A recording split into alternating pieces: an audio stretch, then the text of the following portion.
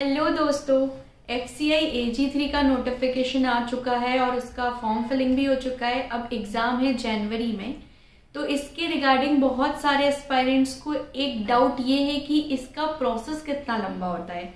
क्योंकि बहुत सारे लोगों को लगता है कि जो बैंकिंग एग्ज़ाम्स है, वो तो काफ़ी फास्ट सिलेक्शन प्रोसेस होता है। लेकिन एफ़ सी आई का जब नोटिफिकेशन आया था और जब ज्वाइनिंग आएगी तब तक में कितना टाइम अप्रोक्सीमेट लग जाता है?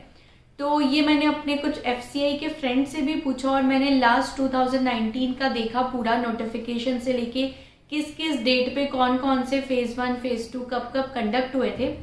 तो जो लास्ट ईयर का नोटिफिकेशन था, उसको साथ में लेके मैं इस ईयर के नोटिफिकेशन से आपको एक अप्रोक्सीमेट बताऊँगी कि कब कब इसका कौन कौन सा फ़ेज़ वन फ़ेज़ टू हो सकता है। तो अगर हम F C I A G three two के नोटिफिकेशन की बात करें तो वो आया था फेबररी 2019 ट्वेंटी थर्ड फेब को। और इस बार जो नोटिफिकेशन आया, वो आया है सिक्स सेप्टेम्बर 2022 मतलब अब आप देखें, जो फ़ेज़ वन का एग्ज़ाम 19 में हुआ था, वो चार दिन चला था। Thirty first May to first June second June third June चार दिन चला था। फेब में नोटिफिकेशन आया था और जून में एग्ज़ाम हुआ था। जून स्टार्टिंग में। तो इससे आप देख सकते हैं, चार महीने का गैप था और अभी भी वही है। अभी भी नोटिफिकेशन में टेंटेटिव यही लिखा हुआ है कि जनवरी 2023 में एग्ज़ाम होगा।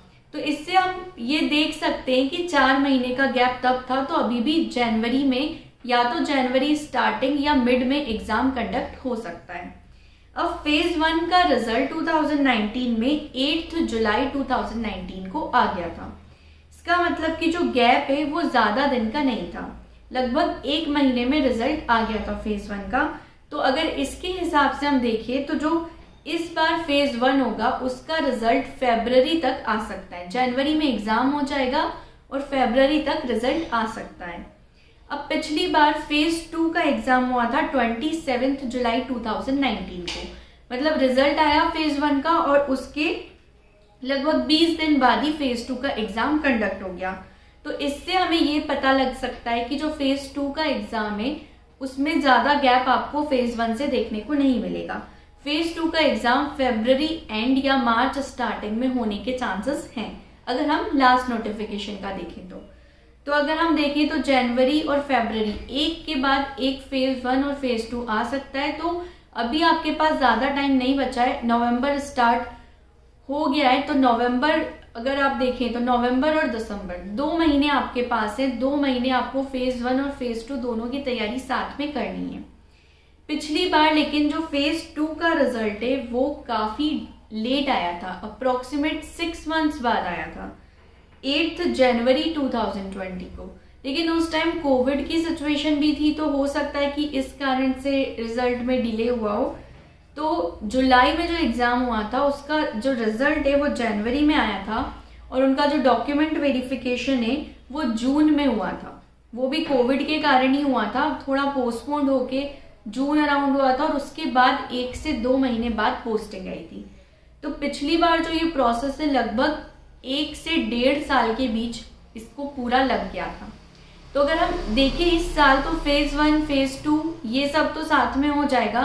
फ़ेज़ टू का रिज़ल्ट का जो ट्रेंड है वो लास्ट ईयर जैसा लास्ट टाइम जैसा मुझे नहीं लगता कि रहना चाहिए, क्योंकि सिक्स मंथ्स बहुत ही लंबा टाइम है रिज़ल्ट आने के लिए। तो अगर आप देखें तो फिर भी हम ये देख सकते हैं कि एक साल में आपकी पूरी जो पोस्टिंग है वो आने के चांसेस हैं, क्योंकि इस बार कोविड वाली सिचुएशन नहीं है, पिछली बार कोविड की सिचुएशन थी तो थोड़ा अलग था, क्योंकि एग्ज़ाम आईबीपीएस कंडक्ट करवा रहा है, और आईबीपीएस अगर एग्ज़ाम कंडक्ट करवाता है तो इतनी स्लो प्रोसेस नहीं होती है। फिर भी अगर हम ज़्यादा से ज़्यादा इसको लेके चले तो एक साल में इसकी जो नोटिफिकेशन अभी आया था सितंबर में तो अगले साल के सितंबर तक आपकी ज्वाइनिंग आ जाएगी। तो आई होप कि आपको इससे ये ना लगे कि इस एग्ज़ाम में बहुत डिले होगा, इसमें उतना डिले नहीं होगा। इसका आपका हो जाएगा प्रोसेस तो अभी आपको तैयारी बहुत अच्छे से करनी है। एक और वीडियो हम लेके आएँगे, जिसमें बहुत सारे एस्पायरेंट्स पूछ रहे हैं कि जनरल स्टडीज़ कहाँ से पढ़े। तो जनरल स्टडीज़ के कुछ सोर्सेस हैं जो मैं आपको बताऊँगी और कैसे तैयारी करनी है जनरल स्टडीज़ की, वो नेक्स्ट वीडियो में हम आपके साथ शेयर करेंगे। So thank you so much for watching this video and don't forget to like share and subscribe this YouTube channel thank you so much